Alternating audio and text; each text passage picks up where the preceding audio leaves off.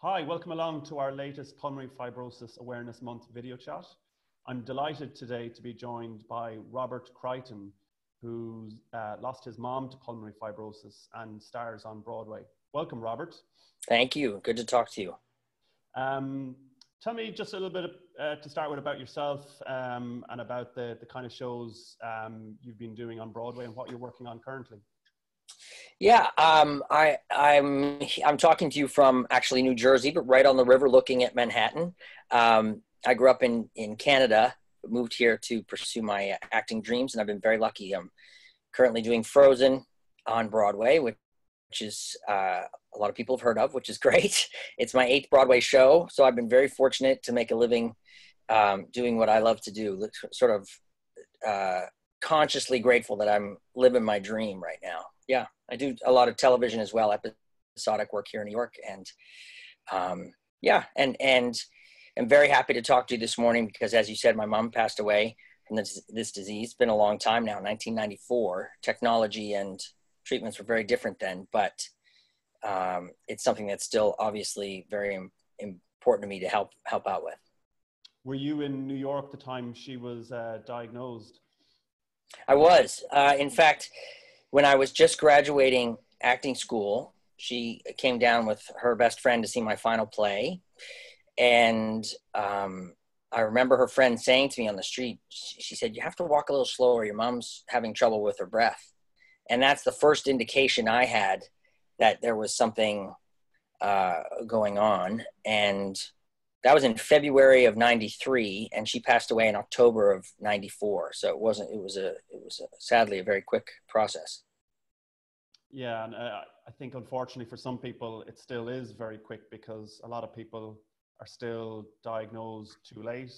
Um, mm-hmm. And as well as that, some people, we don't understand enough yet about the disease, why some people decline very quickly and others decline slowly. Um, yeah. She had, I remember the, the word sarcoidosis, that's originally what she was diagnosed with. And then what she actually died went, yes, from being short of breath to being on oxygen um, to being having a big tank. I remember being home the following Christmas, big tank in her house, and she went with oxygen anywhere she went in the home.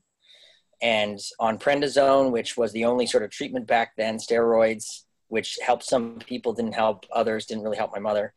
And uh, the only the only real cure at the time was a lung transplant. And 25 years ago now, almost, the, that was the least successful form of um, transplants that were they were doing. And my mom my dad's a doctor. My mother, uh, you know, she made the decision that, that they weren't going to go down that road. And uh, then her lung collapsed. She went in the hospital. I was in New York um, doing a show, flew home. My dad said, fly home. And I went home. I'm the youngest of six kids. We were all there. And uh, we all spent time with her that weekend. Um, and then she lived five more months, sort of taking half breaths, but very still stayed positive through it. And people would come to sort of encourage her and they'd leave totally inspired by how she was going through this process. But um, yeah so it was uh, a challenging time obviously but um, i don't even remember what the question was but there you go. Um, but you you've stayed very active in the in the area so i know um, you're involved um, since the very inception of um, the broadway belts for the pulmonary fibrosis foundation Yes, uh, which is in and of itself an amazing New York evening and uh, filled with so much heart and big Broadway names who come and perform. Julie Halston is the one who initiated this this um, event. Uh, we started in a small sort of jazz club, and now it's grown to uh, filling, turning people away from a large New York City ballroom. And I think it's been something I've been very uh, pleased to do whatever I can to be involved with that. But I also think it's something that has tangibly, it's raised a lot of money, and I think uh, it's really tangibly helped certain areas in terms of setting up care centers um, around the United States and and you know raising certainly raising awareness. Um, you know all the stats. I, I, can't list them off the top of my head, but it's a disease that affects uh, so many people and it's not as well known or people aren't aware of it as aware of it as some diseases that are uh, you know much more um, have a smaller sort of target. Uh, so it's I think it's important to do what we can, especially as people in the public, you know, performers and that whatnot, to help raise the raise the awareness. And and that raising of the awareness um, and the funding that goes to the Pulmonary Fibrosis Foundation, others through through the work of many people. Um, I suppose there's now treatments available. Um, there's more um, pharma companies developing treatments. Yeah. There's, there's, much better information, and, and you touched on lung transplant there as well. Um, lung transplant survival has got better since that time of your mom. So um, I suppose the Pulmonary Fibrosis Foundation, others are doing a lot of good work informing people and lobbying and other things. So yeah. the, the, the Broadway belts and other initiatives is having a, a tangible impact. I think you're right, and I it's been amazing over the eight years we've done it. I think it's eight years now. Uh, to hear every year the doctors come and speak about the developments, and and it's real things. It went from eight even eight years ago being there's not much out there. We're trying to get people support and care and da, da, da, now to actual um, treatments that are helping you know stem the symptoms of, of pulmonary fibrosis and and uh, that's amazing to me like it's it feels like something if we keep pushing this hard it's actually something that could be they could find a, uh, a cure for or a way to treat it that that uh, saved many many lives. You know it really feels like that's where it's headed. So we have to keep going.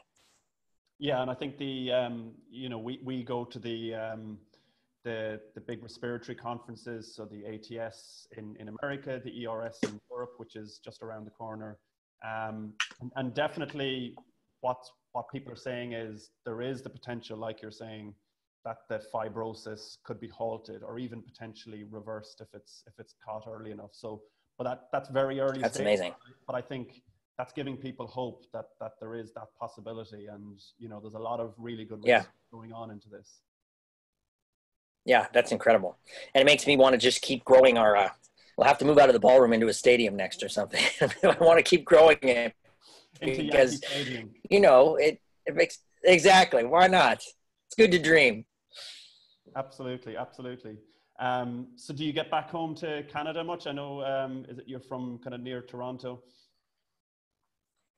Yes. Uh, you know what? It's tough. It's um, as an actor, it's not like you can just go away on weekends fly up uh, you know right now, which is fun. I, I quite like being there. um, but but uh, I don't get home as much as I I'd like to. I'm in close touch, obviously, but no, I miss the homeland now and again. That's for sure.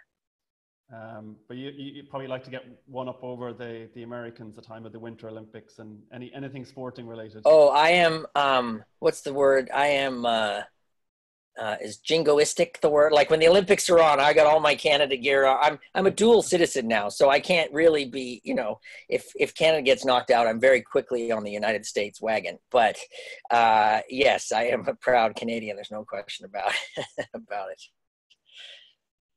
Excellent. Well, we had a little bit of breakup on the line, so um, we'll probably um, um, end the chat there, uh, Robert. Okay. Thank you. Thank you very much for your time, and thank you for everything you're doing to help raise awareness and to raise funding for pulmonary fibrosis. And uh, hopefully, I'll make it to the Broadway Belts next year. Yes, I'm looking forward to meeting you, man. I'll see you. I'll see you there. Great. Thanks, Robert. Okay. Thank you. Bye bye. Bye bye.